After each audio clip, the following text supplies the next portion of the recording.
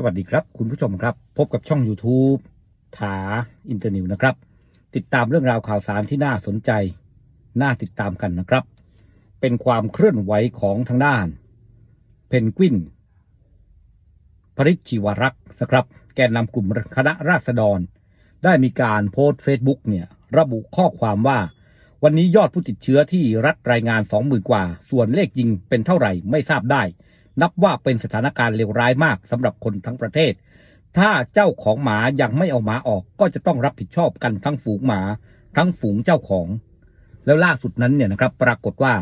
นายคนนี้ก็โพสต์อีกว่า มีข่าวว่าจะจับกลุ่มผมในวันนี้ เห็นว่าได้มีการระดมกำลังตำรวจ ไว้ที่ตชดภาคหนึ่งแล้วห้ากองร้อย ทั้งนี้เนี่ยครับปรากฏว่าแฟนเพจ Facebook แนวร่วมธรรมศาสตร์และการชุมนุม ก็ได้โพสต์ข้อความว่า ด่วน มีข่าวรายงานว่าตำรวจกำลังเตรียมกำลังพลที่สอนอและที่ตชดภาคหนึ่งเพื่อจับกลุ่มเพนกวิน ขอให้มวลชนติดตามอย่างใกล้ชิด นี่ครับ ก็เป็นการออกมาโพสต์ข้อมูลของเพนกวิน แล้วก็เพจแนวร่วมธรรมศาสตร์และการชุมนุม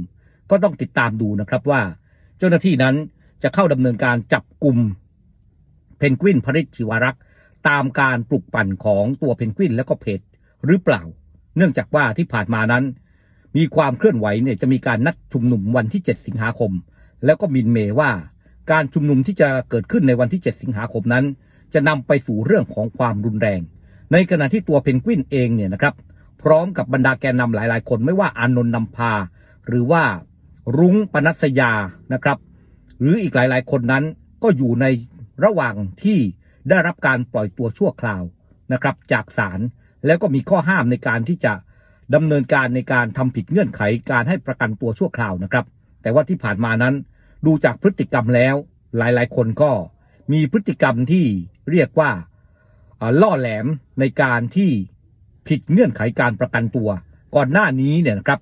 มีหลายส่วนได้มีการไปยื่น เพื่อขอให้ศาลนั้นเนี่ยได้ดำเนินการพิจารณาถอนประกันตัวบุคคลเหล่านี้ อย่างล่าสุดเนี่ยนะครับ เมื่อวันที่ 3 สิงหาคม 2564 ทางด้านสปปสเองเนี่ยนะครับ ร่วมกับสชอ ก็มีการไปยื่นให้ศาลพิจารณาเรื่องนี้ และทางด้านโฆษกของศาลนั้นเนี่ยนะครับ ก็ยืนยันว่าหนังสือเอกสารนั้นได้ส่งไปยังผู้พิพากษาหรือว่าศาลเป็นที่เรียบร้อย ในการที่จะพิจารณาว่าบุคคลเหล่านี้ทำผิดเงื่อนไขการประกันตัวหรือไม่ รอดูนะครับว่า ไอสิ่งที่บรรดาเพนกวิน และก็เพจแนวร่วมธรรมศาสตร์และการชุมนุมนั้น ออกมาปลุกปั่นอยู่ตอนนี้